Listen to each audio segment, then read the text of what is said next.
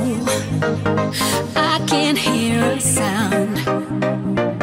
A wonderful, wonderful treasure that I found. I don't ever wanna lose this feeling like a higher force. It's taking over.